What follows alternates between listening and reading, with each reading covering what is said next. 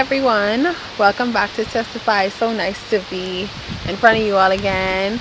Um, just to share what the Lord has been speaking to us about. Um, last week, we know we would have talked about the Holy Spirit, and we didn't mention it last time, but this would be a three part series about who God is because it's important to know who He is and to know Him as the Godhead. So, last week, we talked about the Holy Spirit, and this week, we'll be discussing Jesus Christ. All right, so we have to introduce Jesus Christ the way the word introduces him. I just like just jump right into it. And the Bible actually um, I would just like to say that Jesus Christ was not always human. Um, he became flesh to declare the good news of God. That according to the scripture, and I know in our society, or not even in our society, generally we can tend to think that Jesus was always human, but he was not always human. And that made a, that may have been God's plan to create him, make him into a human, but and he had a purpose. He had a really great purpose for that. But before he became human, this is what the Word of God says he was, and this is coming from John one, um, starting at starting at verse one. It says, "In the beginning, the Word." Sorry. It says in John 1 In the beginning was the Word, and the Word was with God, and the Word and the Word was God. He was in the beginning with God. All things were made through him, and without him nothing was made that was made. In him was life, and the life was the light of men. So that's what it says in John 1 through 4. And then um, it, verse 14 says, And the Word became flesh and dwelt among us and we beheld his glory as the glory as the only begotten of the Father, full of grace and truth. So it is important to know that like who like Jesus Christ is, like he wasn't always um he wasn't always like the, the, the Son of God. He will forever be known as the Word of God who came here to this earth to declare what God had to say. Mm-hmm. And in Hebrews 5 and verse 5 it say, So also Christ did not exalt himself as sorry. So also Christ did not exalt himself to be made a high priest but but was appointed by him who said to him you are not you are my son. Today I have begotten you. So this just proves even more that hey just one random day or one I can't even say day in eternity one random eternity day. I don't know.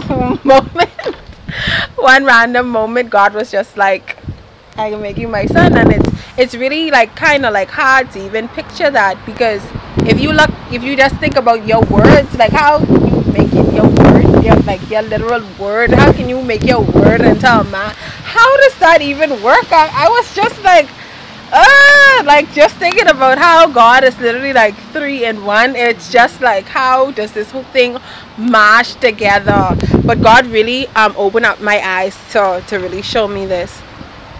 And um, in society like with that being said in some religions in some um, in some religions and even some persons who claim to be christian um, a lot of them they they tend to say that jesus christ is just the son of god and that he was never god and god never said that he was god and that jesus never claimed to be god. But what does the scripture has to say about it? The scripture is very clear in saying um, who Jesus Christ is. And it's important that we both believe that He is the Son of God and that He is God. Um, when Jesus said to believe in Him is to believe in everything that He says He was and everything that the Father says He was. It's not just to believe one part about Him because you may just believe in one part about Him and not receive the um, or not walk in the victory you're supposed to walk in as it relates to who Jesus Christ is because you're not looking at him um, in an upright manner. So it's important to know who he is so that um, you can look at him in the right way and believe in him the right way. So I just want to talk about like what God really showed me like how God really showed me like how Jesus is God and it's something called um, the Shekinah glory um in my like earlier christian walk like i was like fresh out the like I just just get birth, and literally I I got persecuted. Well, I wouldn't really say persecuted, but somebody I was sharing the gospel with. I was telling them Jesus God. And it's like Jesus ain't God. People go around talking about foolishness, but Jesus is God, but He ain't no God. And I was like, what? So you mean to tell me like everybody believing Jesus is God? And like my foundation was faulty. I was just believing that Jesus Christ was God, but because everybody else said it, I didn't know for myself. So this led me to like go on a journey to like find out like that Jesus Christ is God. Mm-hmm. And Shekinah glory, this um, refers to like as God's manifested presence or his dwelling. That's what like the word Shekinah means. And you could do some more research on it. So God's Shekinah glory is like this when we go back um, into the Old Testament, in the book of Exodus, God manifested himself as a cloud. Now, simply put it, this is how God explained it to me. If I was to be looking at the distance, in, in, in, in the distance at like that gray cloud, I would just look at it and be like, that's just a cloud. Right. I wouldn't look at it and think any other thing if I was just in the distance and I saw this huge cloud over Mount, Mount Sinai. But then individually that's a cloud but that cloud was also god. So that's how god helped me to really like understand that yes the cloud is a cloud in itself but then the cloud was also god's manifested presence because um, um, god told the children of israel that he, they saw no form. They didn't see who god was but that cloud represented god. So anytime um, the israelites would see that cloud they would say god is here. His presence has arrived and whenever they would see that they would know that. It's the same thing with the fire as well. Um the fire the burning bush? It, it the, the burning bush as well and the fire that um that led israel by oh, night. right, right, right. both of them actually. And that is known as god's shekinah glory. Like that is his manifested presence and that's how he manifested himself in the old covenant. Yes if i would just look at that fire that would li- literally just be fire in itself. It'd just be like a flame of fire but that was god's presence that that was god. And then another example um, and this is actually compared in the new testament as well um, the bronze serpent. Um, the children of israel they complained very harshly about god and uh, bronze um, well a serpent went around and it bit a lot of the israelites and they some of them died. And then god instructed moses to take um to make a bronze serpent and he told him he told him to um put it up and he said the Israelites were instructed to stare intensely at that bronze serpent and then they would be healed from the poisoning that the snake would have given them. And that's exactly what Jesus is compared to. It says that when Jesus Christ is lifted up, then um, God will draw all men unto him. And that is compared to the bronze serpent um, back in those in those times. So that's so that's how we can prove that Jesus Christ is God.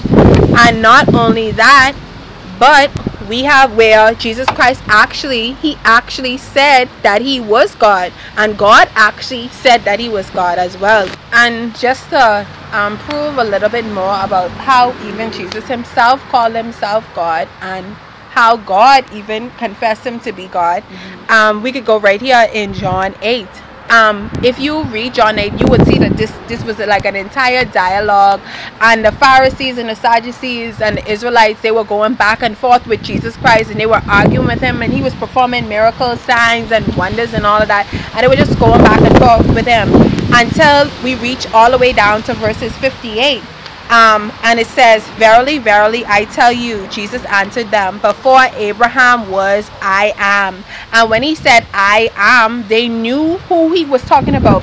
In the book of Exodus, when God was leading the children out of Israel, uh, Moses was like, Who will I tell them who has sent me? Who, who, who am I going to tell Pharaoh, like, who has, who has sent me? And he was just, God told him to say, I am. So when Jesus said this, this represented God. And if right. this doesn't even convince you that he said this, in verses, um, when we go to chapter 10 and 33, um, it basically answers the question as to who Jesus Christ was claiming to be.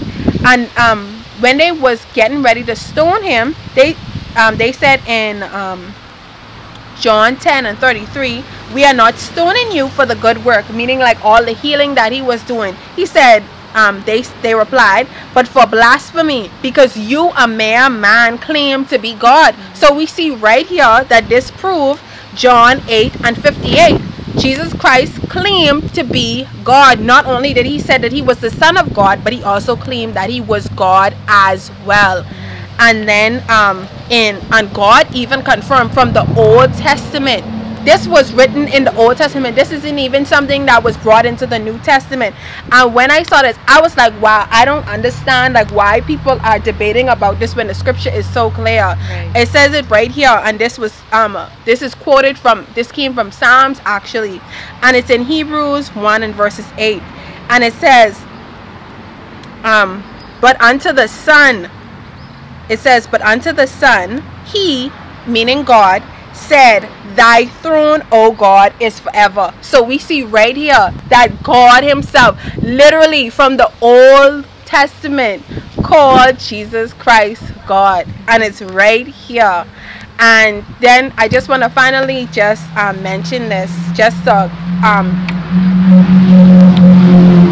thank you, Nate. And just to, um, finally just make a point um, with the with the new covenant. Jesus christ has to be god because he brought in the new covenant and it's important to understand this. So i'm just going to read from romans 7 starting at verse 2 so it says for example by by law a married woman is bound to her husband as long as he is alive. But if her husband dies she is released from the law that binds her to him so then, if she has sexual relations with another man while her husband is still alive, she is called an adulteress. But if her husband dies, she is released from the law and is no longer an adulteress if she marries another man. So this scripture right here was comparing, and if you you could read it yourself, it's in Romans 7. You can read that entire thing. Um, Paul is basically um, using an analogy to describe the, um, the old covenant and the new covenant. And in the old covenant, God made provision for Israel if they sinned. God said, if you sin, you can offer me a sin offering and I will forgive you. However, we see that over and over and over, they continually kept sinning. So we see here that it says that if the woman dies or if any person in a marriage die, you are literally freed from that marriage. So if you was to go with someone else, it would not be you um, committing adultery. And that's the same thing that Jesus Christ did. Jesus went God when he when he made Jesus Christ his son, when he made Jesus Christ his son, he stood in the gap for us uh, so that we could receive his righteousness. And not only did he do that, but he also had to die being God. He also had to die being God in order for the new covenant to begin. Because God um, was proclaiming through many prophecies that a new covenant was going to come. And the only way a new covenant was going to come is if God died. So God made himself or he put himself into uh, into I, I want to say like a fallible he made himself fallible for the sake of bringing in the new covenant. And I thought that this was so clever. I thought that this was so clever that God could do something like this. Like he's still alive but then he dead at the same time. I thought like that was like so clever that he did something like that and he came up with an idea where he could release himself from the old covenant in order to bring himself into the new covenant. So that's basically like how we prove that jesus christ is god. So i know Trinity have some comments? that's that's, that's pretty much a mouthful. Um, i think that that's a good way to start the show you know in, in, in regards to introducing jesus christ and who he is. You know, to, to pretty much declare that he is not only the Son of God, but that he is God. Um, because that's just super important. Um, I know a lot of Christians, um, when it comes to the topic of Jesus, you know, a lot of people are really, um, could be really like surface level about it or like surface minded I guess. Like they only know the surface stuff. They don't really know who he is and you know the root of what he did and, and what his work represented and stuff like that. And so you know you have people who will say um, well yeah I know Jesus. Jesus is my savior. Jesus died on the cross for my sins. You know Jesus is the son of God but you know um, today we're just here to tell you that there's so much more you know there's so much more to know about him and um, not only is he God not only is he is he actually God? But he is, you know, he's yes, he's our savior. That's true. But he is also our shepherd, our high priest, our intercessor, and he's the the mediator of the new covenant. He is the whole foundation of the new covenant. You know, without Jesus, we would not be able to be in relationship with God. No. And so, you know, that's pretty much what we want to continue talking about today. So, firstly, I wanted to talk about Jesus Christ um, as a sacrifice. You know, he was he was sacrificed for us and for you. Um, and I know a lot of people know that, but you know, people don't take it as seriously as it was as it's meant to be taken. Um, and you know, Jesus being sacrificed was something that was prophesied from literally like the very, very beginning of times. Um, if you read in Genesis chapter 22 and verse 8, um, you know, before I even read verse 8, the I'm talking about the story where Abraham was tested, you know, when he was going up um, to make a sacrifice, when God asked him to sacrifice Isaac. And um, as they were traveling, you know, to, to go and sacrifice the lamb, um, Isaac saw that there was no animal. And he asked his father, you know, well, where's the sacrifice? What's going it's on only, here? It's only, it's only Yeah. us and, you know, the, the tools that's needed to, to make the sacrifice. And so um, Abraham's reply was, God will provide the sacrifice. Now, even though, well, actually, let me read it. He said, um, it says, Abraham answered, God himself will provide the lamb for the burnt offering, my son. And then the two of them went together. So, even though Abraham didn't even know it, he was actually prophesying about Jesus. He didn't know it. Like, you know, in that very moment, he was just saying, you know, I, I, I assume he was actually just saying something to, um, I guess not put fear in Isaac because you know he wasn't going to say, well, you know, God told me to sacrifice you. I'm, I'm about to kill you right now. But he didn't say that. He said, he said, you know, you know, God is going to provide the sacrifice.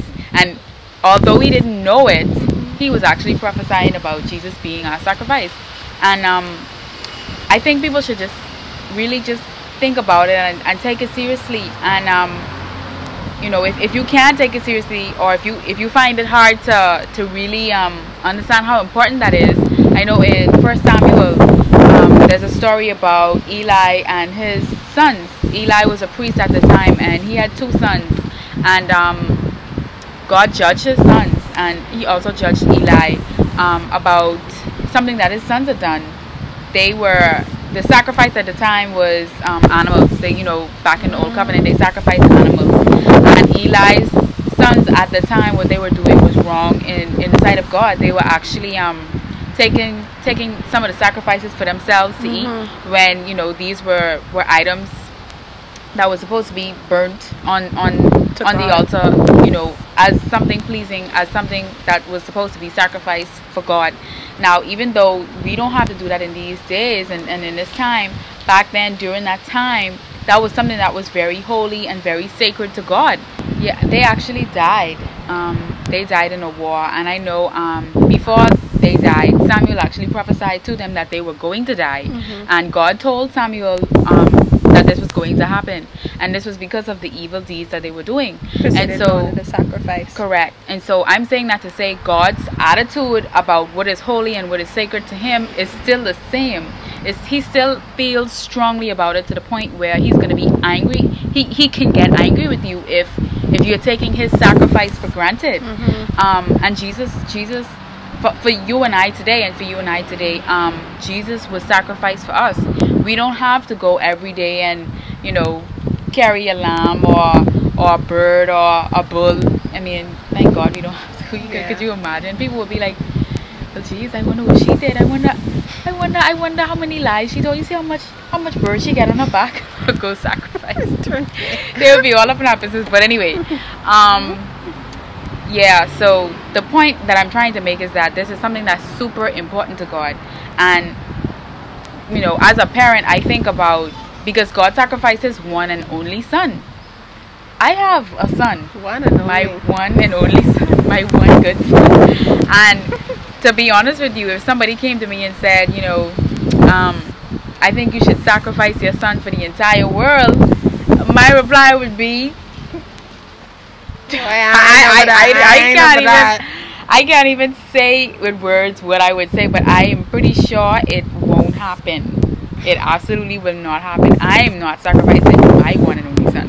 And so I mean, it, it just helps you to be so much more grateful when you think about it. Um, In a literal in, sense. In a literal, I guess, in a, in a literal sense, or, or when you just empathize with God and put yourself in His shoes, kind of, sorta. You know, I, I'm pretty sure that we can't possibly imagine or begin to imagine, but I mean, just think about it. As a parent, as someone who, you know, you love your children dearly, you love them with all your heart, and for you to use your child as a sacrifice for the world when you even know that some of them still aren't going to choose you and believe in you that's that's a I, I that's a hard decision to make. I mean i for me that i would just be i i don't know i i, I just probably couldn't do it. But um i say that you know so that people could understand jesus as a sacrifice is something that we are to not only take seriously but understand that it is it's it's sacred to God. And so we have to treat it with the same respect that God would you know that that God intends for us to treat it with that we think that he would want us to treat you know his son.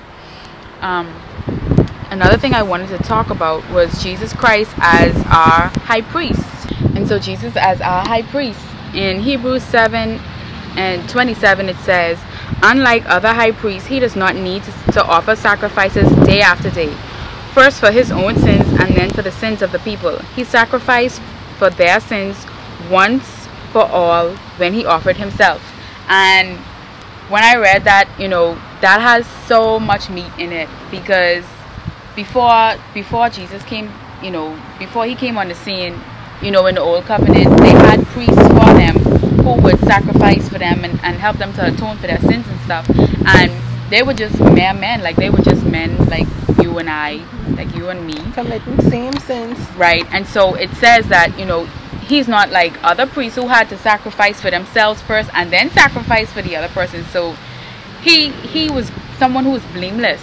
You know, he, he was completely innocent. And um so with the other priests, because they were men like you and I, they had to sacrifice first for themselves and then, you know, then they go and they burn something for you if you had sinned or whatever the case may have been.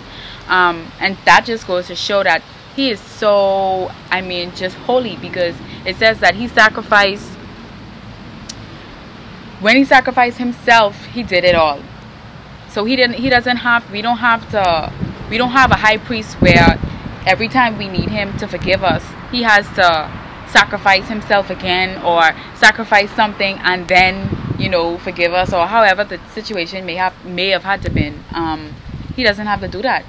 He's the he's the ultimate high priest. Jesus, even when he died, um, it talks about how the veil was torn, and a lot of persons don't necessarily know what it means. But what it means, what it was, the veil was actually located inside the temple, mm-hmm. um, and this was a, this was where um, the high priest, only the high priest could have were allowed to go. Mm-hmm. And behind the veil represented the holy of holies, and this is somewhere again where they were allowed to go to to um, pray on behalf of the people and you know I guess atone for their sins and stuff like that with God. Like only the high priests were were, were allowed to to come close, you know, or be considered in the presence of God. And so when Jesus died, that veil was torn.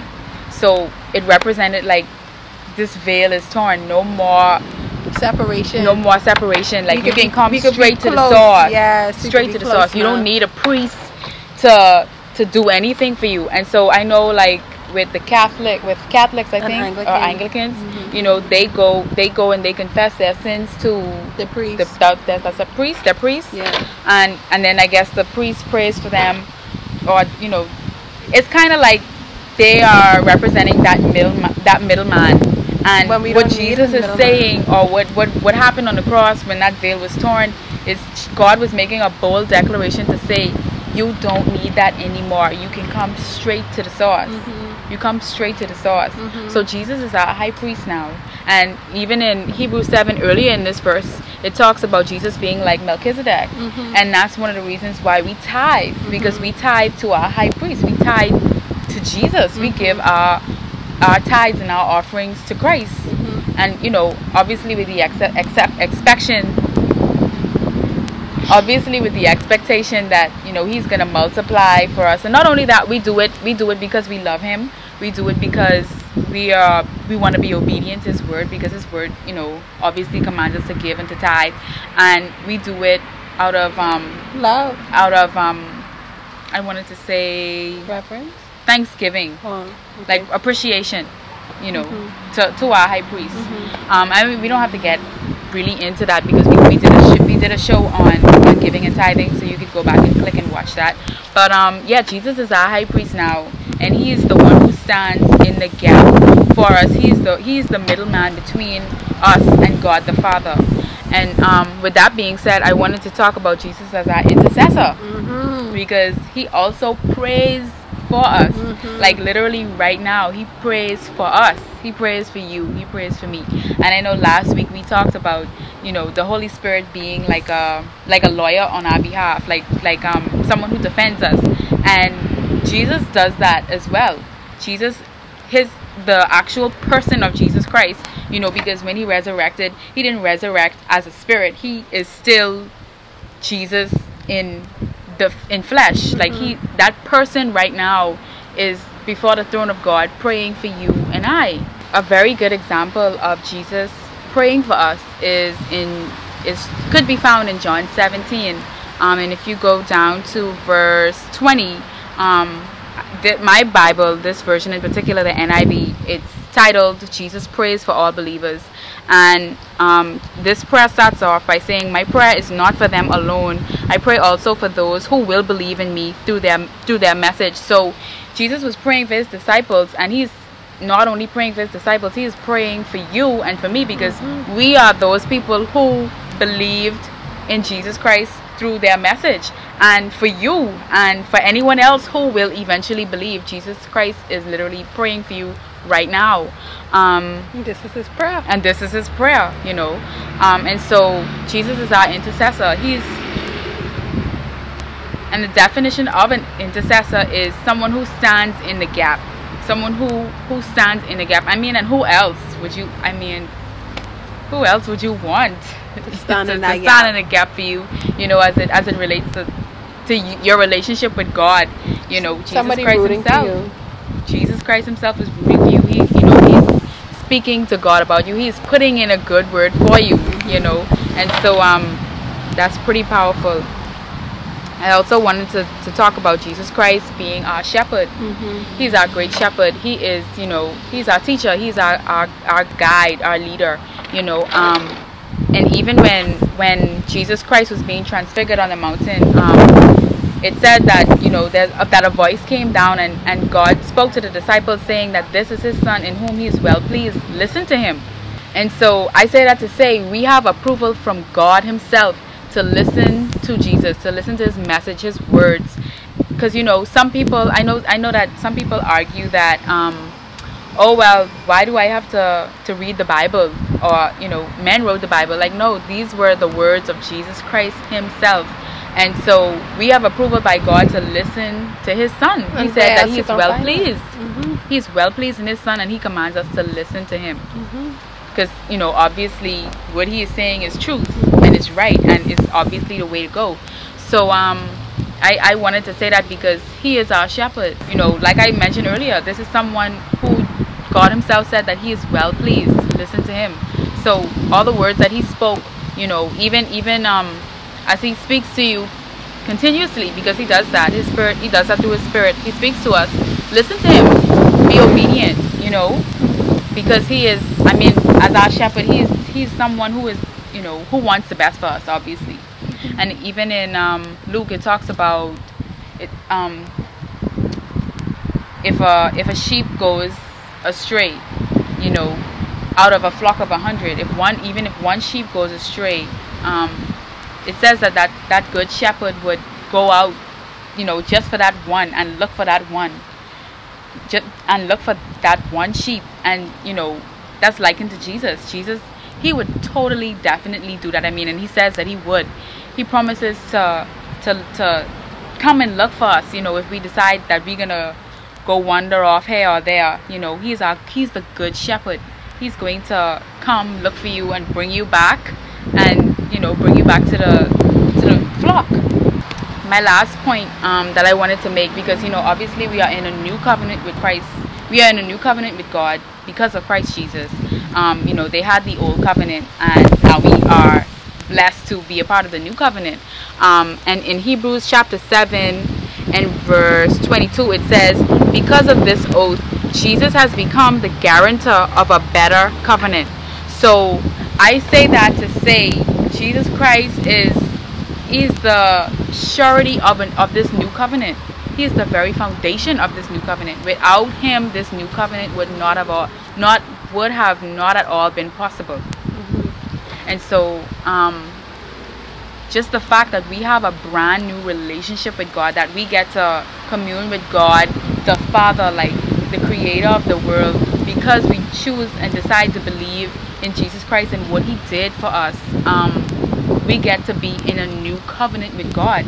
And very, you know, very soon we're going to be doing a series about the new covenant yes. because this should be foundational for all believers. Mm-hmm. But um, I mean, I guess just to help people really understand what it is we have in God and what has been promised to us, because yes. that's you know.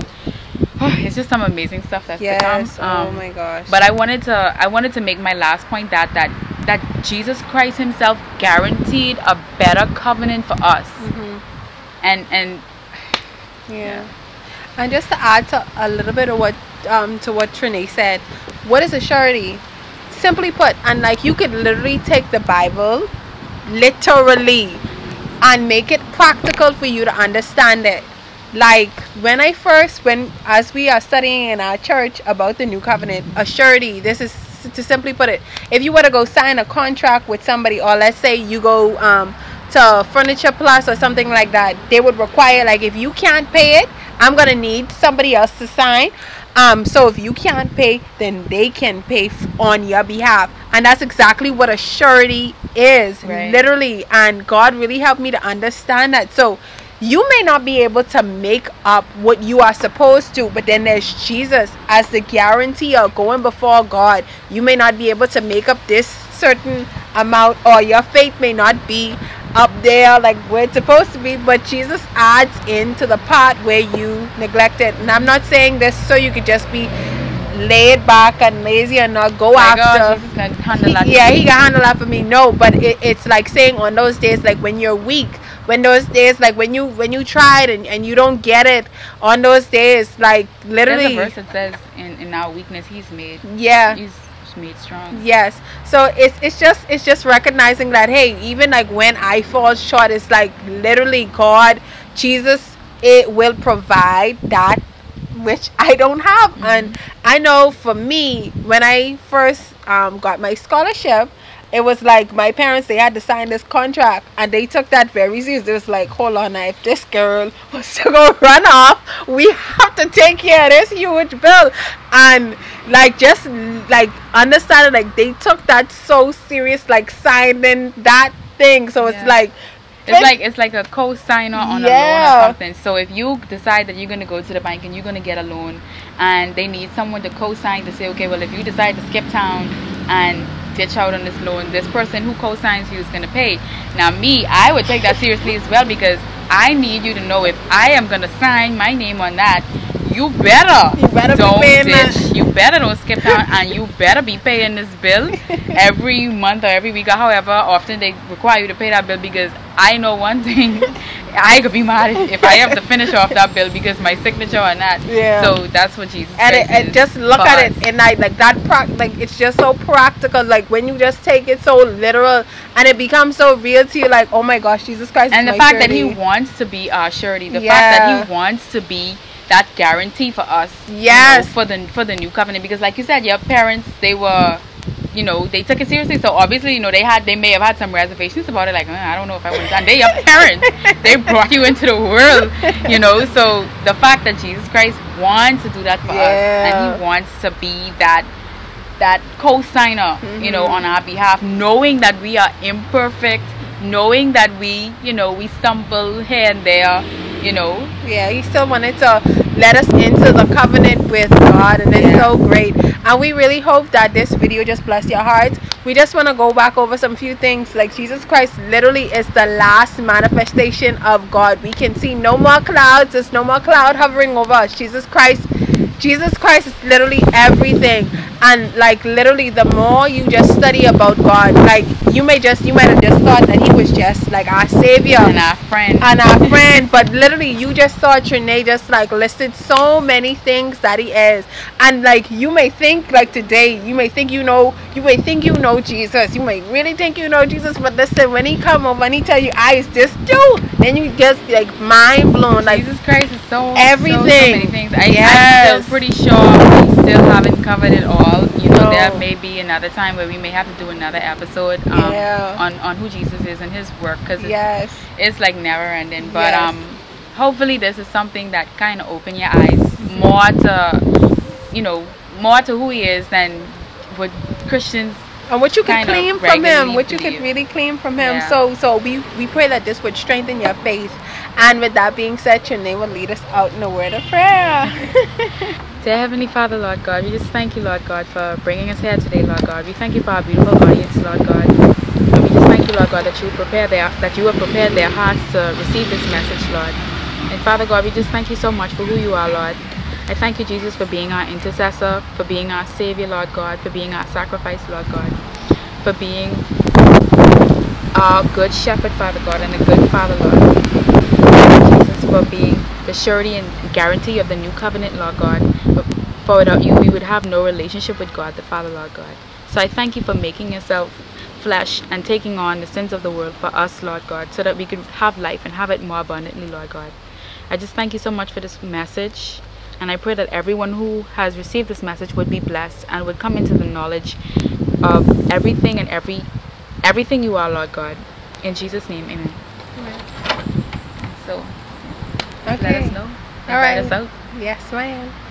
So we just want to invite you out to our um, weekly services. We have um, services at Sunday in the Black Legend Hall on Prince Charles setting at um, 10 a.m. On Mondays and Wednesdays, we also have Bible study and prayer meetings starting at 7 p.m. So if you would like to join, you can go ahead and just send us a message and we'll be more than happy to accommodate you so that you could join and worship with us. Thank you so much. Enjoy your day. Bye.